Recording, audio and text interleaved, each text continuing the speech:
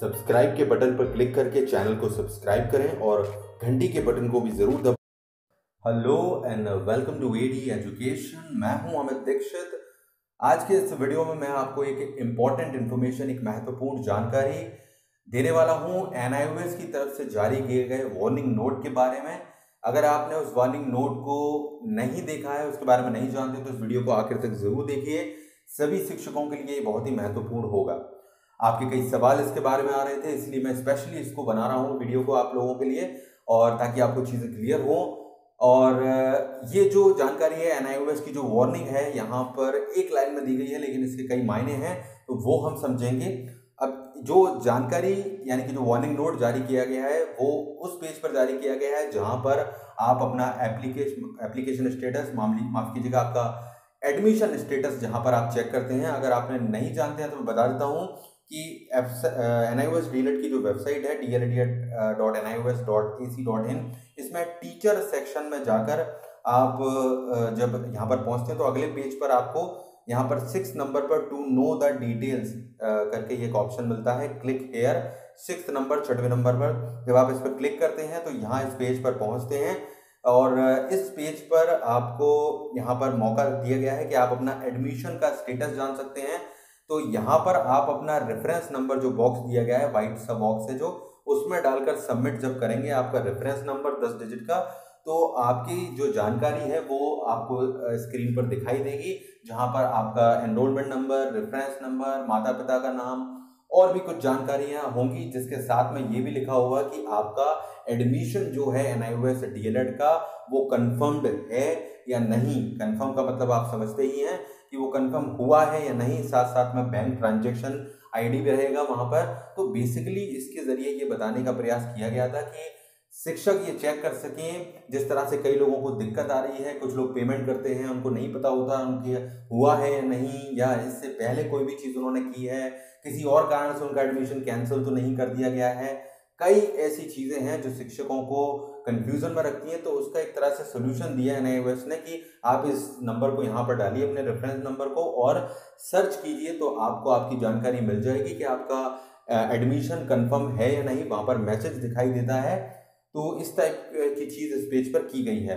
तो अगर आपने नहीं किया है तो आप ज़रूर कीजिएगा। ये बहुत इंपॉर्टेंट है। अपने एडमिशन की जानकारी आप यहाँ पर और कई महत्वपूर्ण जानकारियाँ आपको देखने मिलेंगी, जो आपको बहुत ज़रूरी है जानना। तो ये आपने अगर नहीं किया है तो कर लीजिएगा। अब जो वार्निंग की मैं बात कर रहा हूँ, वो आप नीचे की तरफ़ यहाँ पर देखेंगे। तो यहाँ एक नोट दिया गया है नीचे की तरफ़ वार्निंग नोट जहाँ पर लिखा गया है कि National Institute of Open Schooling is not responsible for any inadvertent error that may have in the data being published on net the data published on net are for immediate information to the learners तो यहाँ एक तरह से NIOS ने अपने आप को free कर दिया है और इस बात को बोल दिया है कि हम इस बात के लिए जिम्मेदार नहीं होंगे या नहीं हैं।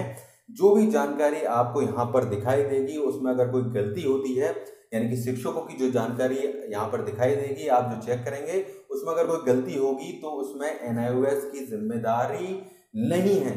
तो अब ये किस तरह का सेंटेंस है ये मेरे आ, मुझे लगता है कुछ अजीब ही है। कि एन ने इस तरह की बात क्यों लिखी है? यहाँ पर क्या किस चीज़ से बचना चाहते हैं वो लोग? उन्होंने कहा है कि यहाँ जो भी जानकारी दिखाई जा रही है the data publish on the net are for immediate information to the learner यानी कि जो भी जानकारी यहाँ पर दिखाई जाएगी या आप देखेंगे वो आ, हाल की ही जानकारी होगी इमीडिएट जानकारी होगी जिस शिक्षकों को जानने के लिए। तो इसको उन्होंने कहा है उसमें अगर कोई गलती होती है तो इसमें उनकी कोई ज़िम्मेदारी नहीं होगी। समझ गए आप आप, ये वार्निंग थी एक तरफ़ से, एक तरह से उसकी तरफ़ तो एन ने तो अपने आप को इससे फ्री कर लिया है कि उनकी कोई ज़िम्मेदारी नहीं होगी। लेकिन अब शिक्षकों को इससे क्या समझने की ज़रूरत है? देखिए एन ने यहाँ साफ़ साफ़ कहा है एक तरह से कि कोई भी गलती, कोई भी एरर इसमें आती है या पाई जाती है डेटा जो भी इसमें दिखाई देगा पब्लिश होता है, उसमें उनकी ज़िम्मेदारी नहीं है। तो यानी कि अब जो जानकारी अगर आप देख रहे हैं, उसमें जो जानकारी है, उसमें अगर कोई गलती होती है, आपकी जानकारी जो है शिक्षकों की जो आप चेक करते हैं, उसमें गलती होती है तो इसकी ज़िम्मेदारी आपकी हो गई। तो आप इसके जानकारी के अनुसार जो भी चीज़ करेंगे, अगर इससे कोई परेशानी होती है तो एनआईओएस की ज़िम्मेदारी इसमें नहीं होगी। तो ये बहुत अजीब बात है। अगर एनआईओएस इस डेटा को दिखा रहा है तो उसको, उसकी ज़िम्मेदारी भी लेना चाहिए कि ये जानकारी सही है या नहीं है, या क्या है? उसका इस लाइन से क्या मतलब है, उनको स्पष्ट रूप से बताना चाहिए था, वो क्या कहना चाहते हैं। तो अब देखिए, आपको इस चीज़ में ध्यान रखना होगा कि आप जो भी जानकारी देखें, आप क्या ध्यान रखें। देखिए, इस चीज़ को गौर से समझिएगा। आप जो जानकारी देखेंगे, अपना रेफरेंस नंबर डाल के आपको वहाँ पर आपका एडमिशन स्टेटस दिखाएगा कि कंफर्म हुआ है या नहीं हुआ है एडमिशन कंफर्म और नॉट या जो भी जानकारी है आपका रेफरेंस आपका यू यूडाइस कोड जो भी दिखाता है आपको जानकारी, उस पर आप एकदम से मतलब ये ना समझे। मान लीजिए अगर किसी का जानकारी में दिखा रहा है कि एडमिशन नॉट कंफर्म तो आप घबराएँ नहीं। या ऐसा ऐसा इसलिए कह रहा है एन की जो जानकारी दिखाई जा रही है, मान लीजिए आप, आज आप चेक कर रहे हैं, आप फ़ीस भर चुके हैं, लेकिन आपको का जो पेमेंट नॉट मेड अभी दिखा रहा है, या फिर कोई और कारण है तो हो सकता है आप आज चेक कर रहे हैं तो आपकी जानकारी अपडेट ना हुई हो, इसीलिए आपका एडमिशन नॉट कंफर्म दिखा रहा हो, या आपका ब्रांड ट्रांजेक्शन आईडी नहीं दिखा रहा हो, या कुछ और गलती हो किसी जानकारी में तो हो सकता है आपको इस दोनों बात चेक करें तो वो अपडेट हो जाए। तो यहाँ पर किसी भी जानकारी को देखकर आप एकदम से किसी चीज़ पर घबराएँ नहीं और एकदम से उस पर बहुत ज़्यादा विश्वास भी ना करें। आप अपने स्तर पर अपनी जानकारी को कंफर्म रखें। अपने स्टडी सेंटर पर या अपने रीजनल सेंटर पर जो भी जानकारी है अगर आपको लगता है कोई गलत जानकारी है तो उसको आप कंफर्म ज़रूर कर लें। आ, क्योंकि एन आई तो यहाँ साफ़ कह चुका है कि उसकी कोई गलती नहीं होगी उसकी कोई ज़िम्मेदारी नहीं होगी अगर इसमें कोई गलती होती है। तो अगर कोई गलती है, कोई दिक्कत है तो थोड़ा वेट करें और कुछ दिनों के बाद चेक करते रहें, इसको लगातार चेक करते रहें, अपनी जानकारी को रेफरेंस नंबर डाल के।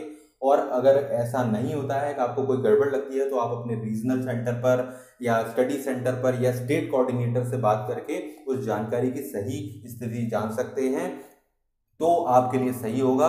अदरवाइज़ आपको एन ने तो अपना एक तरह से फ्री कर लिया है अपने आप को कि हमारी कोई ज़िम्मेदारी नहीं है तो आप अपनी तरफ़ से इस चीज़ को याद रखें कि अगर कोई इन्फॉर्मेशन आज शो कर रहा है, कोई भी गलत है तो उसको थोड़ा दिनों तक आप चेक करते रहें जब तक ये मौका मिल रहा है। और उसके बाद भी अगर वो इन्फॉर्मेशन बदलती नहीं है या उसमें कोई चेंज नहीं होता है तो आप अपने रीजनल सेंटर अपने स्टेट कोऑर्डिनेटर जो भी अधिकारी हैं, वहाँ पर ये चीज़ें कंफर्म करके उस जानकारी की सही स्थिति पता करें, उसमें सुधार करवा लें या उस चीज़ को कंफर्म कर लें। तो ये आपको ध्यान रखना होगा अपनी तरफ़ से। तो ये एक तरह की वार्निंग और एक इन रिस्पॉन्सिबल रिस्पॉन्सिबल सा एक स्टेटमेंट है एन का। अब इसको उन्होंने क्लियर तो नहीं किया, लेकिन इस बात से तो यही चीज़ निकल कर सामने आती है।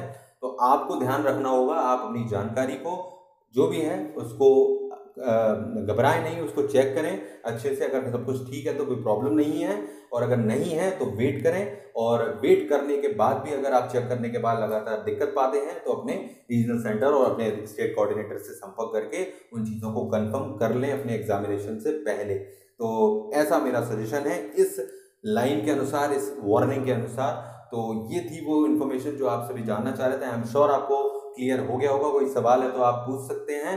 और इस जानकारी को ज़्यादा से ज़्यादा शेयर कीजिए, इसकी जानकारी शायद कम लोगों को होगी। तो लाइक ज़्यादा से ज़्यादा कीजिए इस वीडियो को शेयर कीजिए और उनके साथ में। सब्सक्राइब कीजिए लेक्चर्स के लिए इंपॉर्टेंट क्वेश्चंस के लिए और घंटी के आइकन को ज़रूर दबाइए।